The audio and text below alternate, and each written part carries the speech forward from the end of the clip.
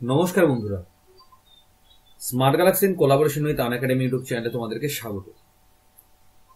বন্ধুরা, এখন তোমাদের সামনে যে ভিডিওটি আনা হয়েছে, সেটি হলো তোমাদের যে রানিং ক্লাস চলছে, তোমাদের আপকামিং ভ্যাকান্সির জন্য ম্যাথের ক্লাস প্র্যাকটিস সেট আকারে তার দুই নম্বর প্র্যাকটিস সেট বন্ধুরা, এর আগে যে ক্লাসগুলো করিয়ে দেওয়া হয়েছে, তার সম্পূর্ণ ভিডিও লিঙ্ক কিন্তু তোমরা ডেসক্রিপশন বক্সে অবশ্যই অ্যাভেলেবেল পেয়ে যাবে।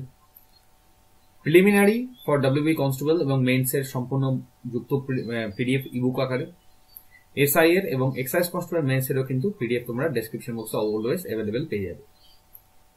তোমরা যারা যারা বন্ধুরা প্রিপারেশন নিতে আইছো বেস্ট প্রিপারেশন অফলাইন কোচিং এর মধ্যে দিয়ে, তারা অফলাইন কোচিং এর মধ্যে দিয়েও নিতে পারো, যার জন্য ডেসক্রিপশন বক্সে দেওয়া কন্ট্যাক্ট নাম্বারে কন্ট্যাক্ট করে নেবে। বালুঘাট দক্ষিণ দিনাজপুর মেইন ব্রাঞ্চ সহ বর্ধমান বাঁকুড়াতে। তোমরা যারা যারা অনলাইন পেইড গ্রুপ জয়েন করতে চাইছো ইমিডিয়েটলি জয়েন করবে কারণ শুক্রবার থেকে ক্লাস তোমাদের চালু হয়ে যাচ্ছে সন্ধ্যে ছটায়।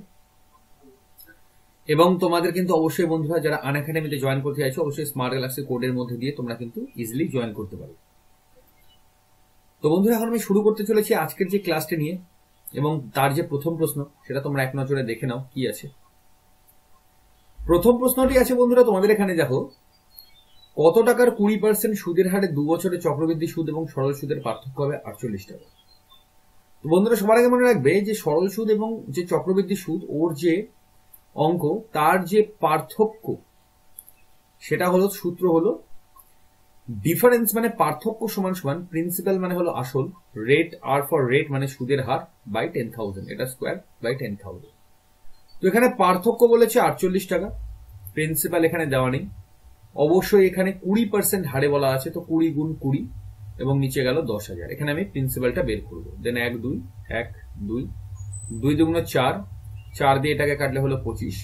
দেন আটচল্লিশ গুণ পঁচিশ সমান সমান তোমাদের হলো আট পঁচিশ সং দুশো হাজার হলো কুড়ি, পঁচিশ কুড়ি, একশো দেন শূন্য। অর্থাৎ প্রিন্সিপাল তোমাদের কত বেরোচ্ছে তোমাদের? বারোশো টাকা। অপশন বি হলো তোমাদের এখানে রাইট অ্যান্সার নেক্সট কোয়েশ্চেন দেখো।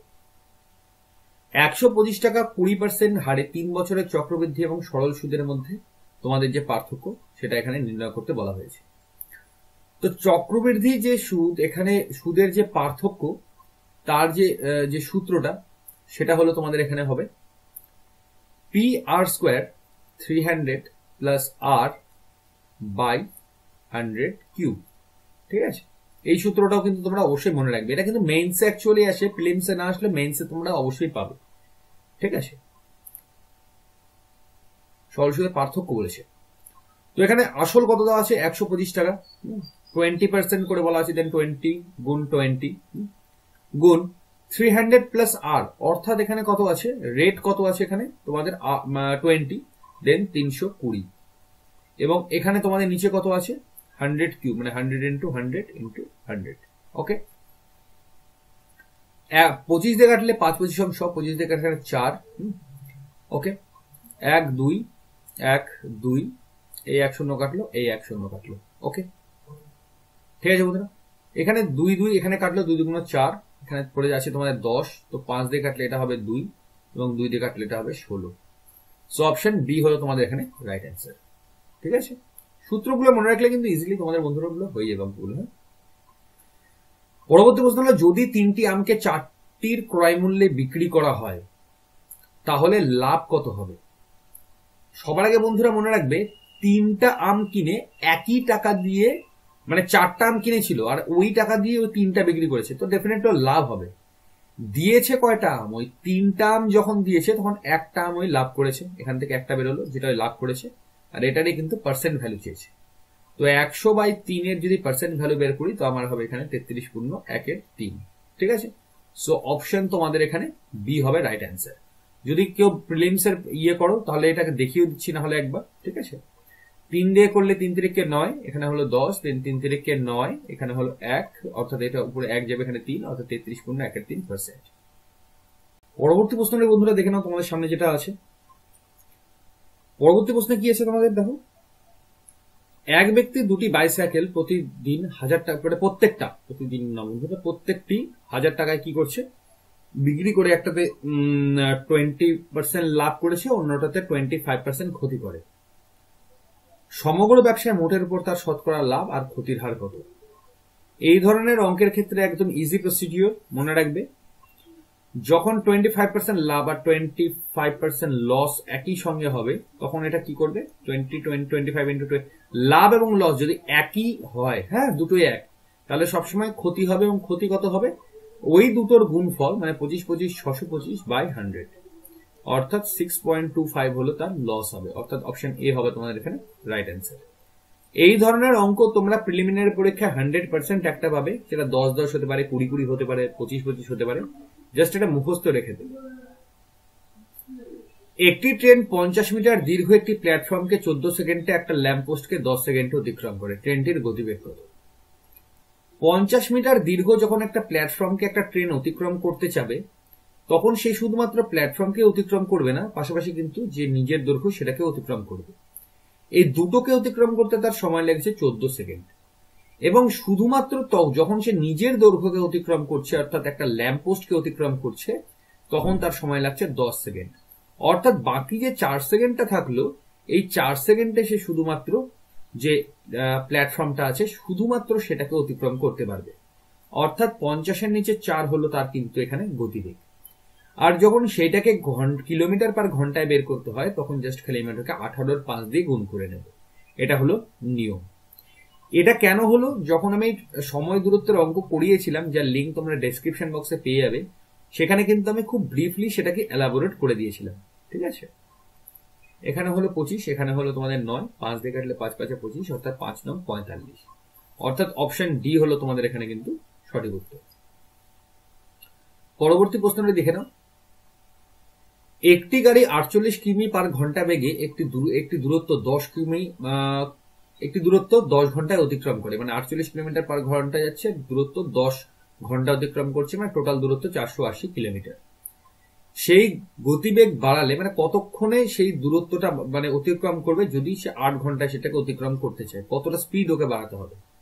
তাহলে যদি দশ ঘণ্টার জায়গায় যদি আট ঘন্টায় অতিক্রম করতে চায় চারশো আশি কিলোমিটার পথ, ঠিক আছে? এটা ডিরেক্টলিও করা যাবে।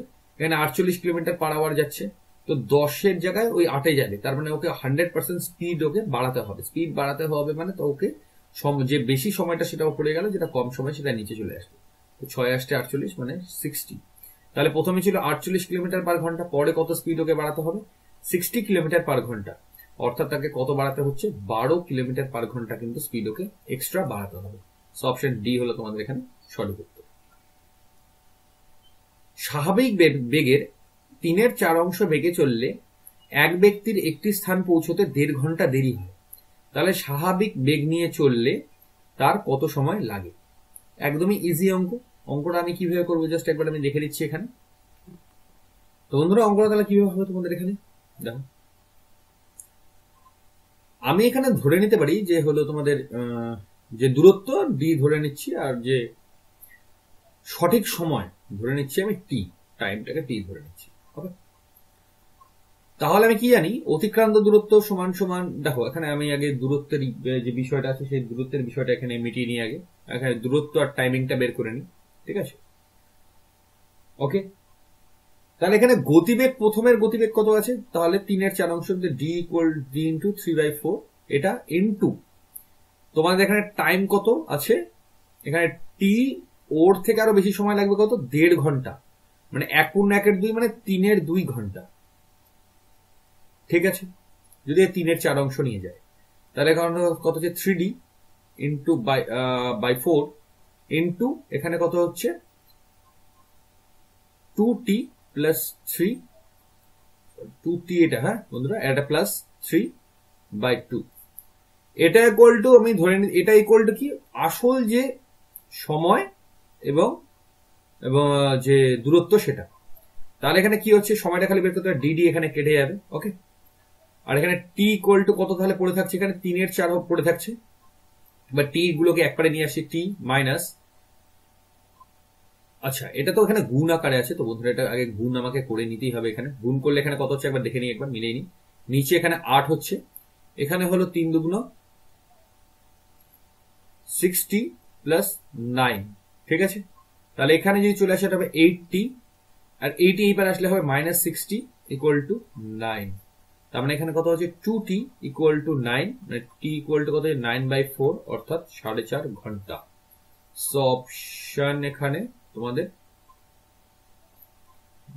হ্যাঁ প্রথম অপশন এ হলো তোমাদের এখানে রাইট অ্যান্সার ঠিক আছে? জি এবং টি এটা দুটো বিকল্প পদ্ধতিও আছে। বিকল্প পদ্ধ- পদ্ধতিতেও করা যাবে বাট এটা ঠিক আছে। তোমরা না হলে বুঝতে পারবে না।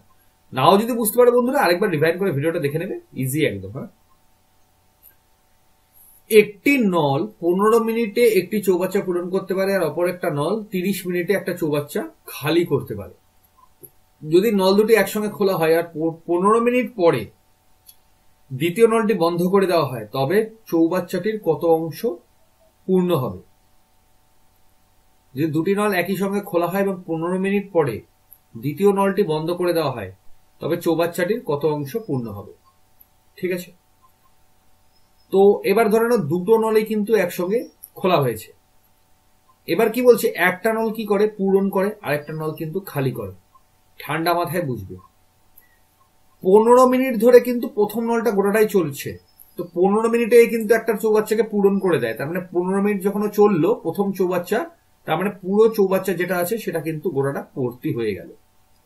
এবার এই নলটাও চলেছে। এবার কি করে? তিরিশ মিনিটে খালি করে।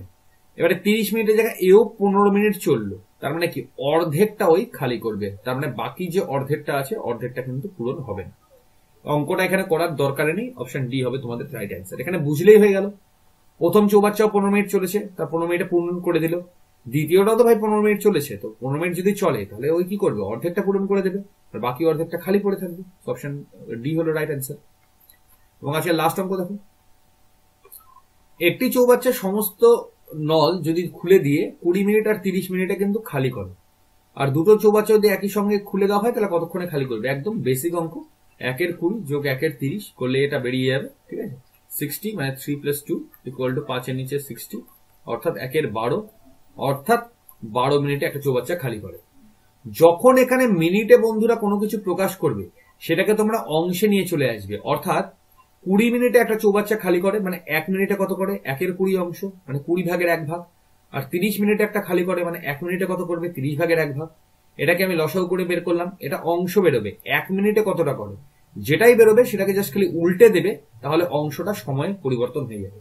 সো বারো মিনিট অপশন বি হলো তোমাদের এখানে রাইট অ্যান্সার তো বন্ধুরা, আজকের যে তোমাদের ক্লাসটা ছিল, সেই ক্লাসটা ছিল এতটাই। কালকে পুনরায় একই সময় তোমাদের আরেকটা নতুন ক্লাস নিয়ে আসা হবে। তোমাদের ডিমান্ড অনুযায়ী তোমাদের ক্লাস করানো হবে। যদি তোমরা বলো যে চ্যাপ্টার ওয়াইজ ক্লাস করাতে চ্যাপ্টার ওয়াইজ করানো হবে। যদি ভাবো যে প্র্যাকটিস সেট হিসেবে প্র্যাকটিস সেট হিসেবে করানো হবে। তোমাদের নিজস্ব ডিমান্ড যেভাবে তোমরা অ্যারাইজ করবে, আমি সেভাবেই ক্লাস করাবো। তাতে কোনো রকম কোনো অসুবিধার ব্যাপার নেই ওকে তো বন্ধুরা, আজকের মতো এতটাই। ডিসক্রিপশন বক্সে সবকিছু তোমার ইনক্লুড আছে। কমেন্ট সেকশন অলওয়েজ ওপেন তোমাদের নিজস্ব মন্তব্য জানাবে। চ্যানেলে নতুন আসলে চ্যানেলটি অবশ্যই সাবস্ক্রাইব করে নিই আজকের মতো বন্ধুরা। নমস্কার।